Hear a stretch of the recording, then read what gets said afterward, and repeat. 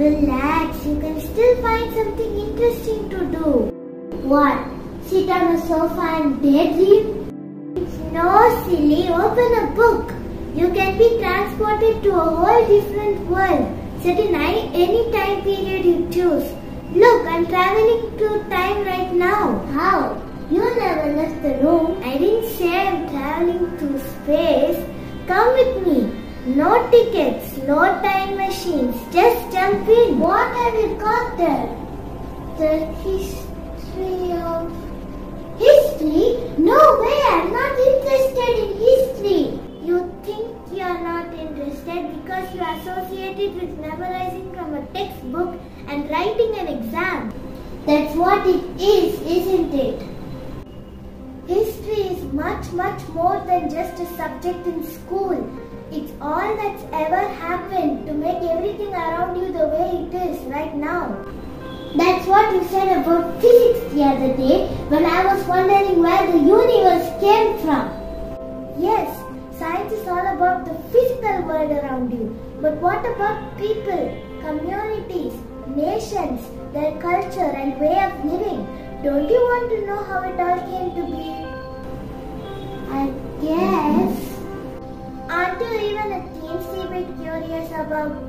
say, how your great grandmother lived? Well, I do like to listen to all the stories my grandma tells me about her mother, what it was like for her to grow up during a war and all that. But that's because I just love stories. So you say you are always interested in reading only storybooks? Absolutely.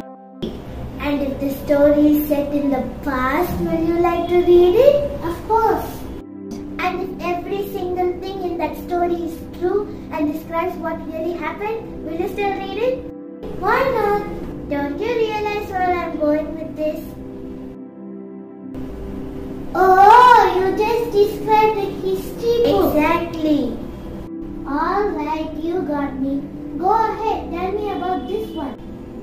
tell you and our viewers.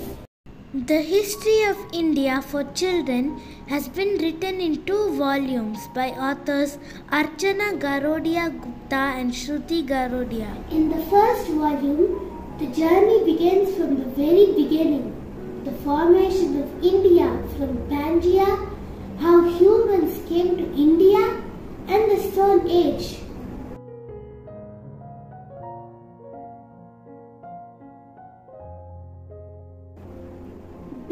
We are taken through a vividly detailed and engaging glimpse into the life of the Harappans.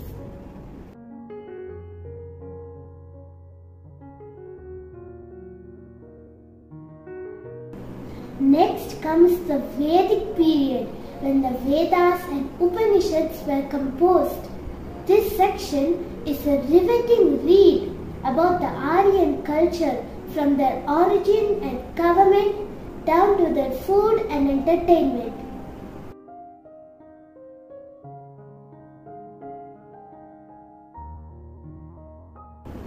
The book then takes us through the age of the epics, the Ramayana and the Mahabharata, in a section aptly titled Gods, Humans, Kings, Princes, and Everyone in Between.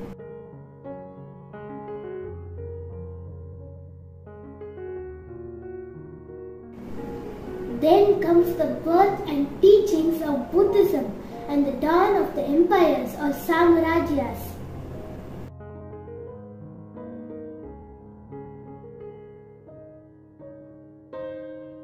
The book then introduces a foreign flavor and describes the meeting and intermingling of the Persian and Greek culture with the Indian culture, glimpses into our past through foreign eyes.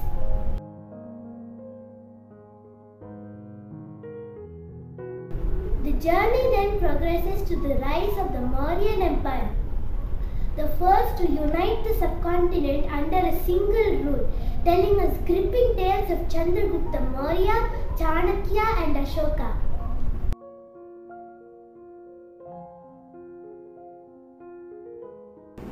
After showing us a fascinating peek into the 500 year period after the decline of the Mauryan Empire, of a turbulent India with waves of invasions and ever changing kings and boundaries, we are transported to the kingdoms of the south. This is an enthralling, unputdownable section describing everything in the peninsular region from Neolithic agriculture to later technologies.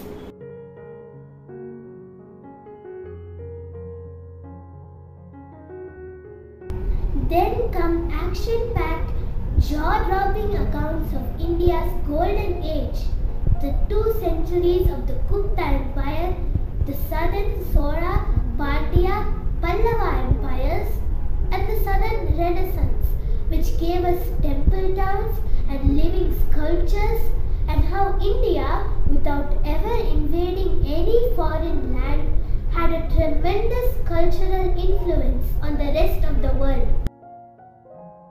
We then whiz past tales of the Delhi Sultanate, Khilji and Tughlaq dynasty to the great and magnificently opulent Vijayanagar Empire and Deccan Sultanate. Wow, that's quite a trip.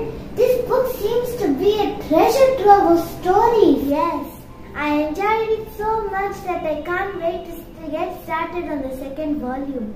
What impressed you the most about this book?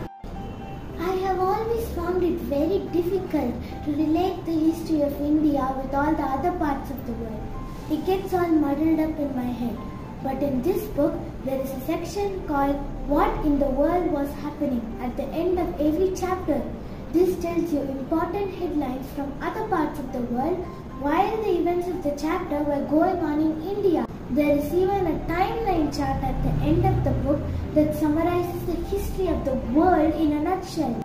I wonder what it would have been like to walk into an ancient Indian house or village from one of these time periods and look around.